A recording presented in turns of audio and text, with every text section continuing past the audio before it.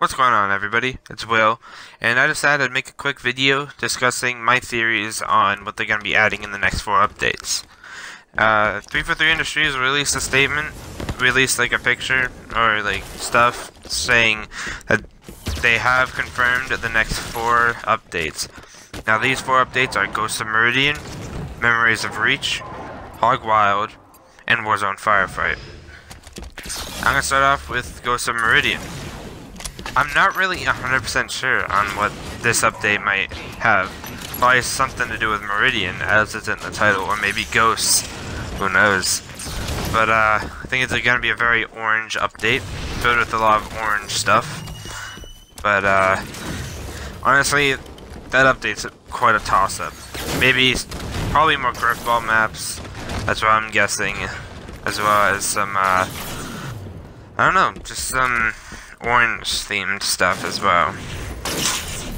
Uh, as I missed that beam rifle. But still get the kill. Um, Memories of Reach. Now, this is kind of exciting. Because I believe that they're probably going to add Infection in that update.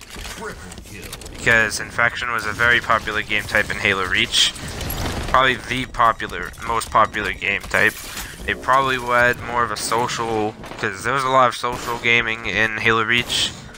Um, like they had, they had Action Sack, they had Invasion, they had a lot of stuff. Infection. So I think that's gonna be a very social update, and gonna add like some of our favorite things from Halo Reach. And uh, it looks pretty interesting.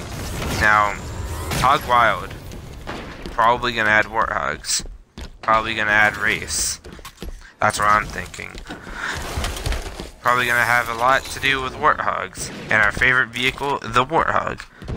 Uh, probably more skins for it, more like skins for the warthog, more types of warthogs. Maybe a golden warthog. That's a legendary mythic for no reason. Who knows? Uh, maybe maybe like a golden warthog that's like really fast, and it's a scout warthog. But, uh, who knows? Uh, definitely sounds like an interesting update. I'm pretty sure that's when they're gonna add race. Yeah, again, that kill. Um, I'm pretty sure that's when they're gonna add race, actually. And Warzone Firefight. Now, we all know what that's gonna be. That's gonna add Warzone Firefight. And, uh, probably some new Warzone maps for Warzone Firefight. Is what I'm guessing. I think they're gonna have different maps for that instead of. They might also use the uh, maps. Who knows? But all I know is that looks like a very cool update as well. Uh, all obviously they're gonna add new armors and new skins and new weapons and all that in the updates uh, because that's a given. Because they love their armors and skins, and I do too.